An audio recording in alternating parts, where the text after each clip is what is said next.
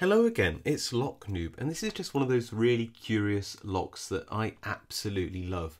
This was sent to me by uh, Potti314, who no doubt you will know already, but please do go check out his channel if you don't. Amazing picker, great content. Love his stuff.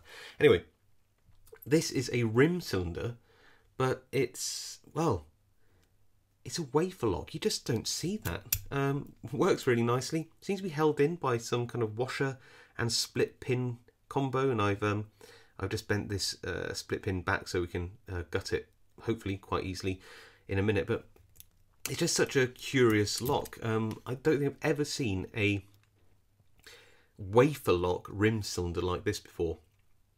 Interestingly I have seen a, a uh, the Wellington I think it's a is it the five lever lever lock which is a rim cylinder? It's a bit big bit bigger than this so um, but yeah, seeing seeing a wafer lock version, just really curious. You, I don't know who makes this DL, obviously, I don't know the company name, and uh, it doesn't ooze quality because it's clearly some kind of like base metal um, that's been painted with a, a, sort of a sparkly paint, which is frankly uh, the sign of a, a, a relatively poor quality lock. But that isn't the point the point about locks like these, they give pleasure just by being a curiosity. If you're a lock collector, an aficionado like myself, then these locks just mean more to you than some of the higher security locks just because they're so cool, or at least I think so.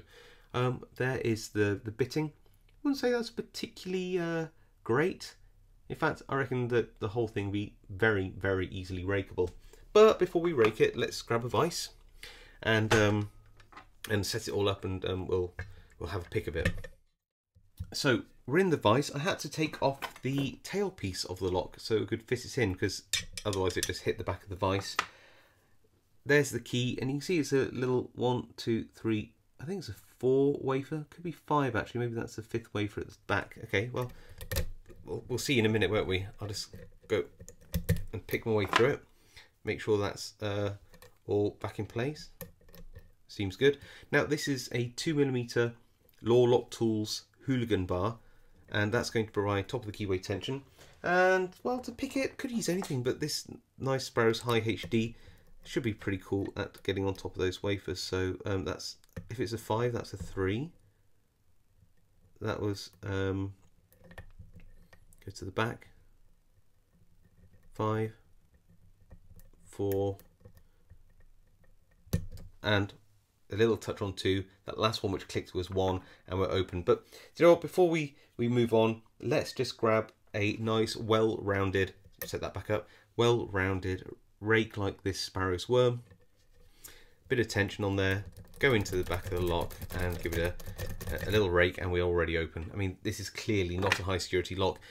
Makes you wonder what it is used for. It, I, would imagine some kind of internal use because it's clearly an extremely um, low security lock. So if I turn this back, to gut it, it's actually really, really easy. And uh, we just pull the pin.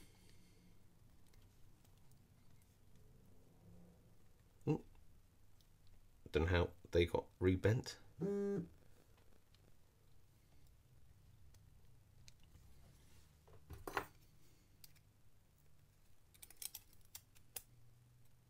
we go.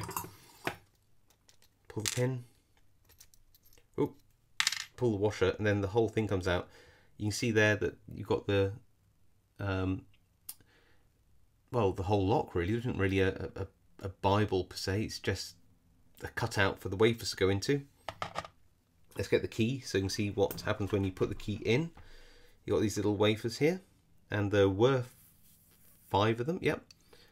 And they spring down and then you put the key in, you, you push them up. So they're, they're, they're in this sprung down position.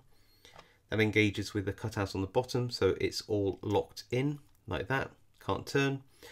The top position there is such that if you overpicked one of the wafers, so if you picked it too far up, it will go into the top and possibly bind there, and therefore it would overlift the wafers and stop and open. But the tolerances in these wafer locks are usually so poor. There's lots of movement and uh, and stuff on on these wafers there, as you can see. That yeah, it, doesn't take very much to open them. Kind of cool to see though, isn't it? You see how little springs underneath these little uh, arms on the wafers there, pushing the wafer down from the top here, and again you just see the how springy they are.